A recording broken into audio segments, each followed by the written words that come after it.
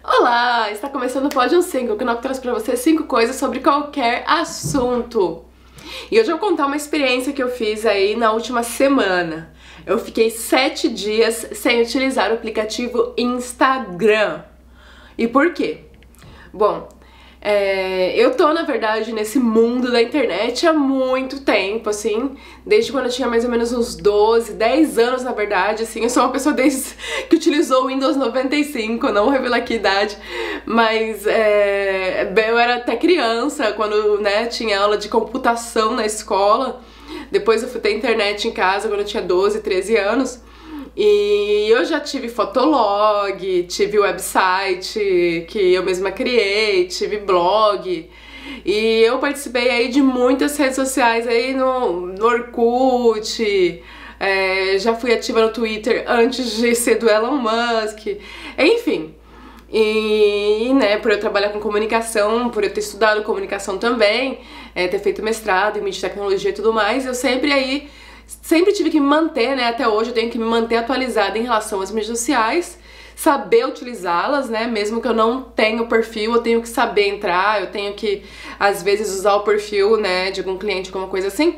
Mas é, eu percebi nos últimos tempos, assim, principalmente de uns dois anos pra cá, que existe muito noise, né? Muito barulho aí nas mídias sociais. O que eu chamo de barulho?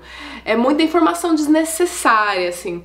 É muito ruído, né? É, é assim, você entra e você acaba entrando num loop aí de perder horas e horas no aplicativo que não te traz às vezes nada de relevante, né? E te faz sentir até mal depois com a sua própria vida consigo mesmo.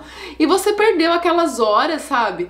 Que, que nunca mais vai voltar, porque o tempo ele é muito precioso. E foi pensando nisso, né, em como o tempo é precioso, que eu comecei primeiro, né, já faz um tempo, isso faz acho que mais até de dois anos, que eu comecei a fiscalizar o tempo que eu passo, né, no Instagram. E você, se você for lá nas ferramentas do Instagram, tem o seu tempo gasto, a média do seu tempo gasto por semana, né? E mostra a, como que foi o gasto de tempo nos dias, quanto tempo você passou dentro do Instagram, utilizando a plataforma.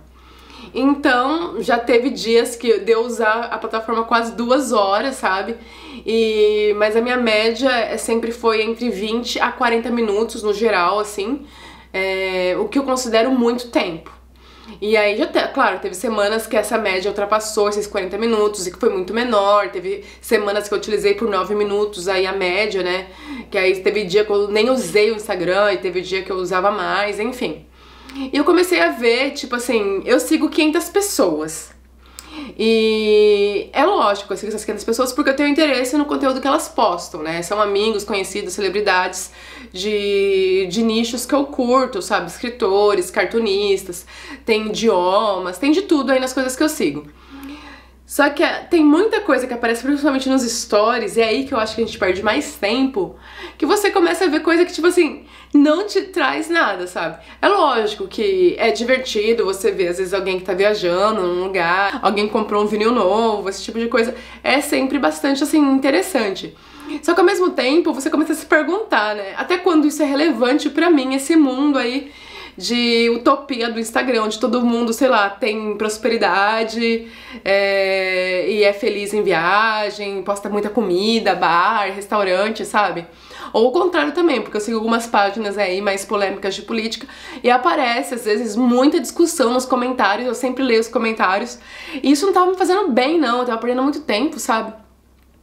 E de uma coisa às vezes eu ia pra outra, e na hora que você vê, você passou tipo uma hora, duas horas é, você tá entrando em perfil de gente que você nunca imaginou que você fosse entrar, sabe?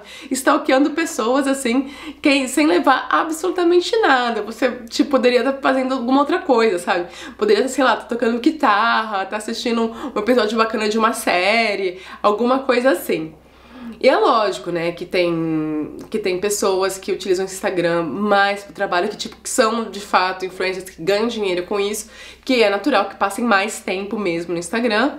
Tem gente que curte mesmo como hobby, né, eu acho que, que não tem nenhum problema nisso. Mas pra mim, eu tava, tava me sentindo assim mal de estar tá perdendo tanto tempo da minha vida com uma coisa assim que não me traz de fato absolutamente nada. Por mais que eu, às vezes eu promova assim meus livros, eu acho que sim, é um meio útil para esse tipo de coisa, sabe? Meus vídeos aqui mesmo do canal, promovo lá, do outro canal que eu tenho também, da Metal Shelf, é, eu divido coisas com vocês, assim, já fui muito mais é, um, uma usuária assim, de postar bastante, postava muita selfie no passado, né? Como eu disse, eu comecei na internet aí quando tudo era mato, no Fotolog, onde tinha, que é o vô do Instagram, né? O Fotolog a gente postava muita selfie, tinha muita coisa traduzida de música. Era uma mistura de Instagram e blog, o Fotolog. Eu acho que era bem legal, na real. E então eu postava bastante dessas selfies egomaníacas e tal. Só que hoje, na real, eu fiquei com preguiça disso. Eu tenho preguiça de postar esse tipo de coisa. Eu posto uma vez ou outra assim, não vou falar que não. Mas eu tô com preguiça, fiquei com muita preguiça, tanto de fazer isso e muito mais, assim, também de, de ver todo mundo fazendo. Todo mundo hoje é criador de conteúdo, sabe? E eu acho que por um lado isso é bacana, porque é uma democratização da informação, né? Eu como como eu já disse, eu estudei comunicação por anos, eu fiz faculdade na Unesp, eu fiz mestrado, eu fiz é, muitos cursos de extensão, então é uma coisa que eu estudei de fato muito, e ao mesmo tempo que isso é um perigo, porque ao mesmo tempo que a gente estuda muito, tem pessoas que não tem nenhum tipo, né, que não estuda coisas vinculadas à comunicação, que ganham muito dinheiro com isso, só que não estudam, por exemplo, ética ou psicologia, que fazem parte do currículo de comunicação na faculdade. Então é muito importante você ter ética quando você divulga conteúdos e tudo mais, né? Enfim, não vou entrar mais em detalhes é, sobre isso. Se vocês quiserem saber mais, comentem aqui. Mas eu vou falar então as cinco coisas que eu notei nessa minha semana sem Instagram. Coisa número um, óbvio, eu falei bastante disso aqui, é o tempo. Eu comecei a ter muito mais tempo. Assim, esse tempo que eu comecei a utilizar pra, pra tipo, pra organizar minhas coisas, pra estudar, é, norueguês, né, que eu ainda não sou completamente fluente, para estudar para meus cursos de certificação, ou simplesmente para ler, sabe? É, então comecei de fato, é, é, óbvio, mas é importante falar porque o tempo é muito importante, precioso e a gente não dá valor, gente, né? Mas quando a gente é jovem, a gente não percebe que o tempo passa muito rápido, assim, né? Então, o tempo. A segunda coisa foi ansiedade. Eu sou uma pessoa, assim, naturalmente muito ansiosa. E não ter entrado no Instagram essa semana diminuiu muito a minha ansiedade. E eu não percebia que, tipo, que o Instagram me trazia ansiedade.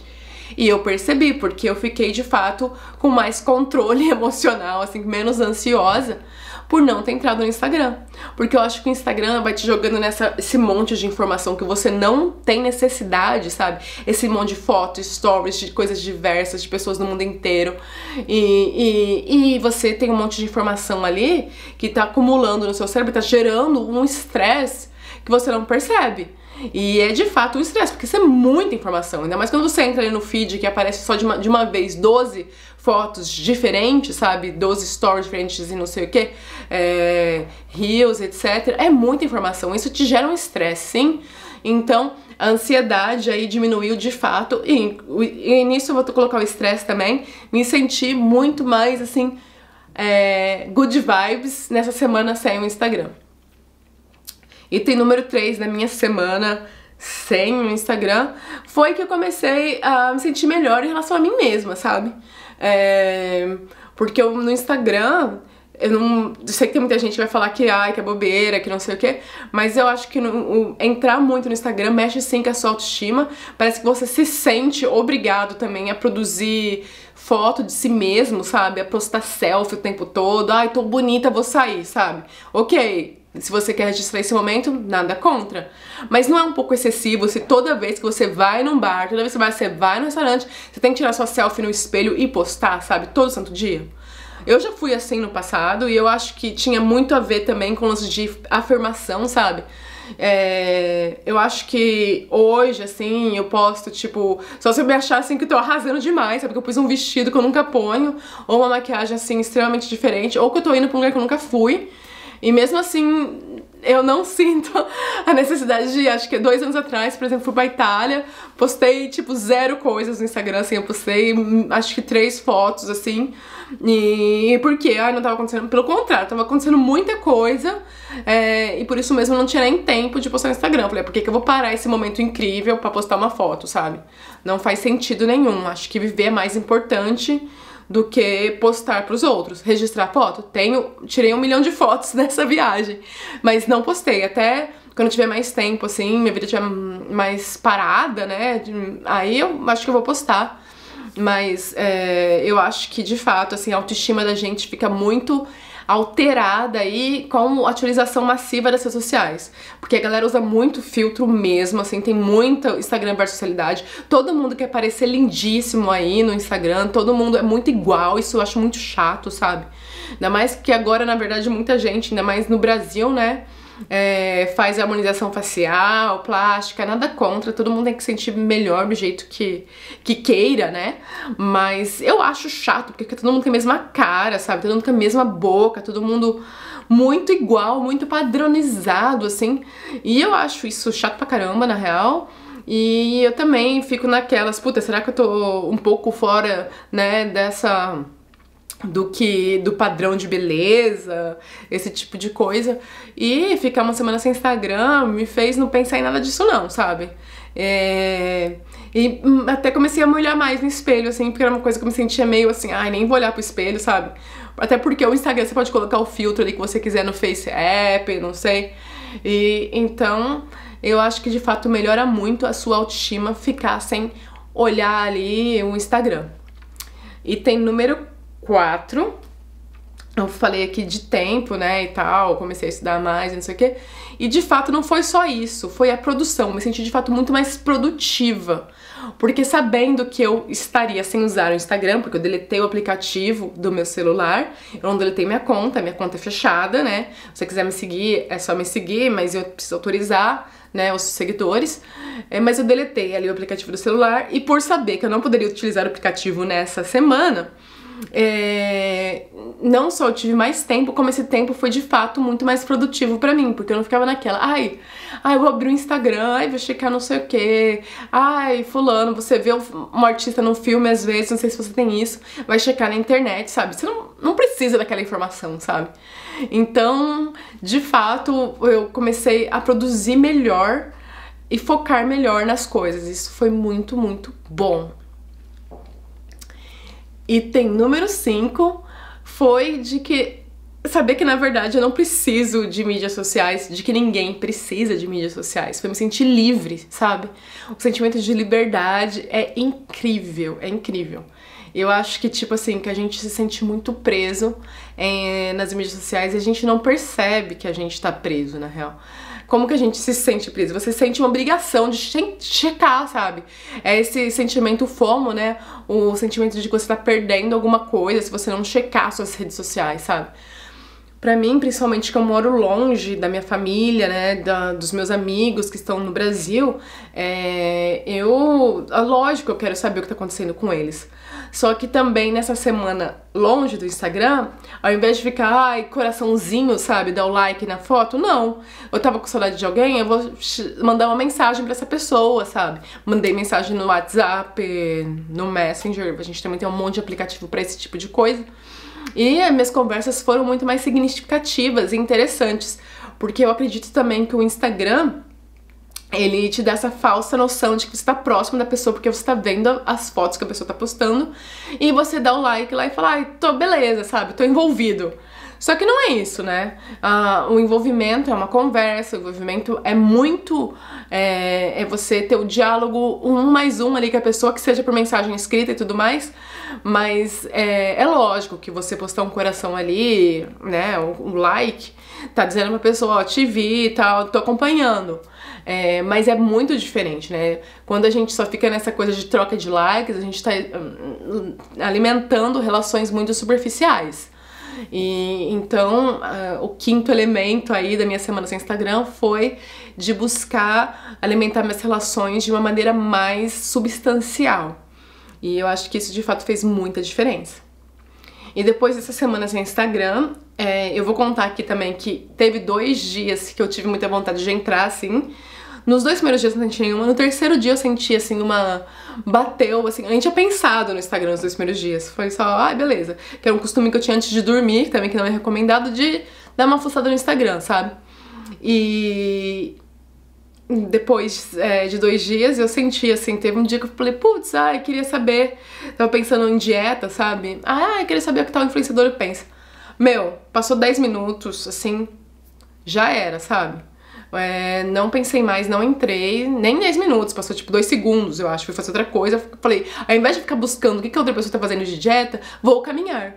Fui caminhar e assim estou mantendo a minha dieta ao invés de ficar seguindo as outras pessoas na internet sem não fazer absolutamente nada, sabe? E então, é, isso também foi legal. E hoje, passado uma semana, eu baixei o Instagram de novo. Até já postei no Stories aí uma coisa bacana que aconteceu comigo, né? Que eu fui é, citada aí na última edição da Neme, que é um cartoon aqui da Noruega, né? Da menina gótica. É muito famoso aí no mundo inteiro. E eu achei muito legal isso, então eu falei, ah, vou compartilhar.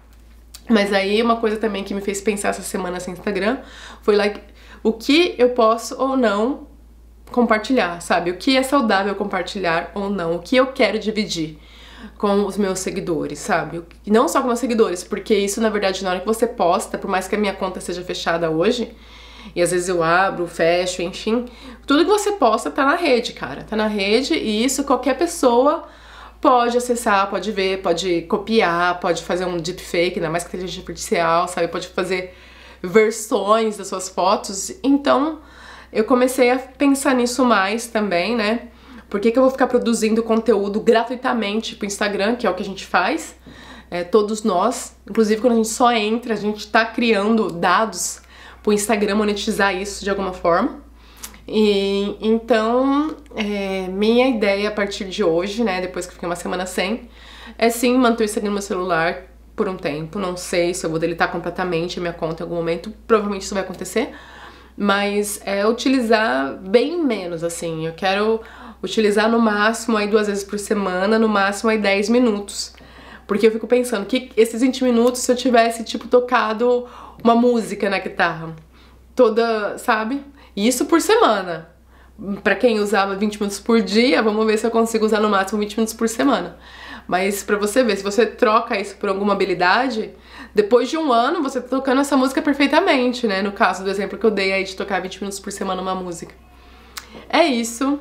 É, me contem aqui se vocês já pensaram em ficar longe das redes sociais, se você já fez a experiência de ficar longe, ou se você deletou, né? E nem meu irmão, por exemplo, não tem Instagram, não tem a menor vontade de ter, sabe? Nunca teve. E a vida dele é feliz normal, não muda nada você não ter um Instagram, sabe? Muito pelo contrário, as pessoas que parecem que não utilizam o Instagram frequentemente são as pessoas que parecem que têm uma vida mais produtiva, né? Parece que vivem de fato o momento, porque elas não estão preocupadas em postar aquilo na internet. Elas estão preocupadas em de fato, sabe, experimentar aquele prato e tudo mais. Com o Instagram ele é interessante como inspiração, mas ao mesmo tempo tem muito, como eu disse, ruído né, no início desse vídeo porque é cansativo, sabe? Todo mundo ser um influencer wannabe, todo mundo querer ser influencer, todo mundo ser, querer ser criador de conteúdo, sabe? Eu acho que não tem necessidade.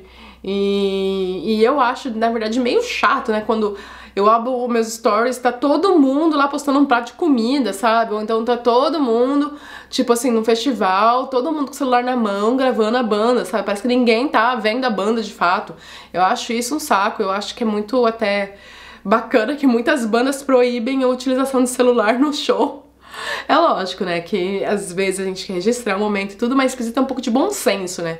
Até porque depois eu, é pouquíssimas pessoas que vão de fato ver o seu vídeo inteiro ou que vão, né, assistir ali o próprio vídeo depois. A gente produz muito conteúdo e, e pra quê, sabe? Fica o questionamento.